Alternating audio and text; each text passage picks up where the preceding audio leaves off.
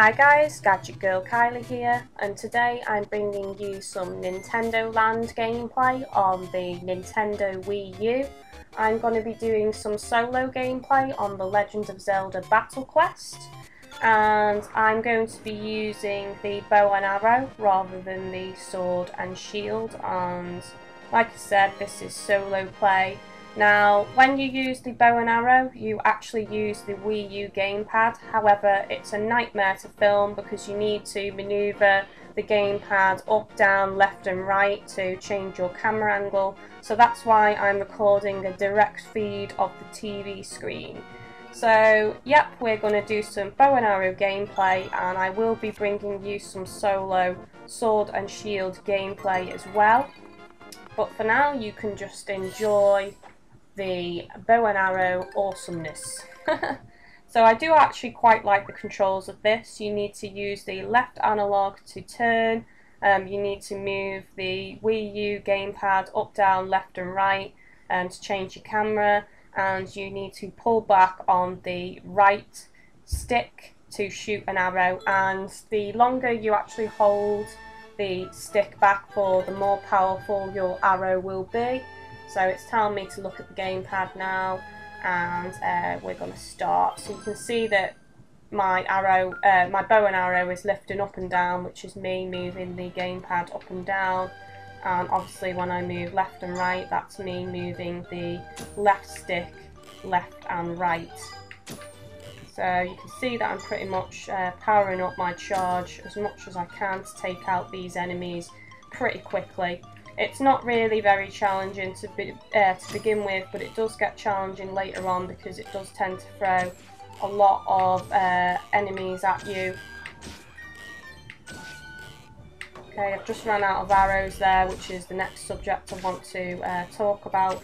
You do run out of arrows, and to refill them, you need to uh, push um, sorry, uh, move your Wii U gamepad down and it will refill your arrows. And the further down you do that the more arrows it re will refill. So it's probably better to just make sure you move your gamepad all the way down so that all your arrows will refill which you can see in the top right hand corner of the screen. See how many um, gems I've collected and also how much life I've got in the bottom left hand of the screen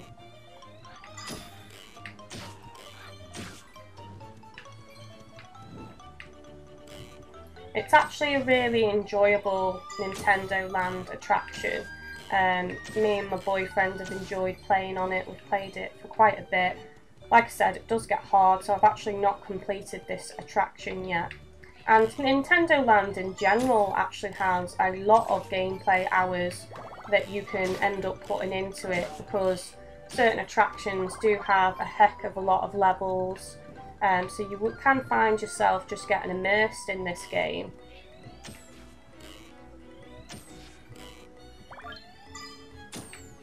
Totally missed him then.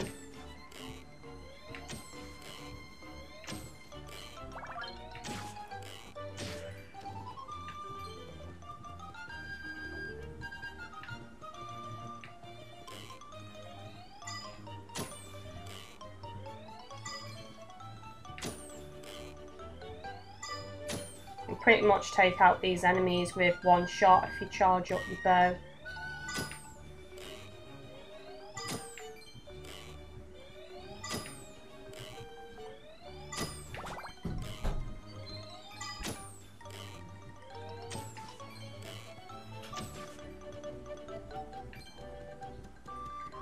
Obviously there is um, there are bosses on this as well, this attraction but I'm actually not very far on this attraction, so um, I've only fought one boss so far.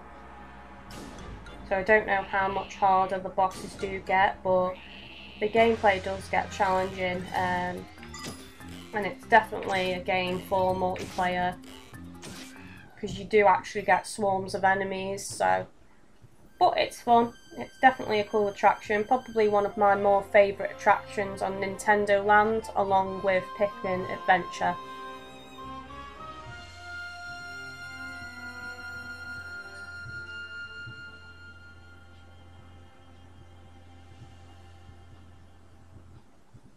Yay, I got the Triforce.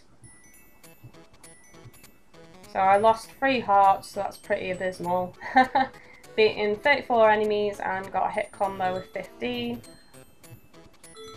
And you can see that it takes various different in-game screenshots of you playing. And here are just some comments um, that other people have written about the game.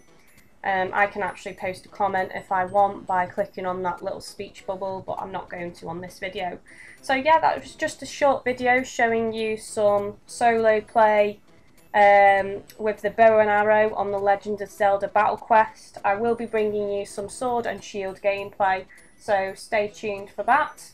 And you've been watching Gadget Girl Kylie. Don't forget to like and subscribe, and I'll see you next time, guys.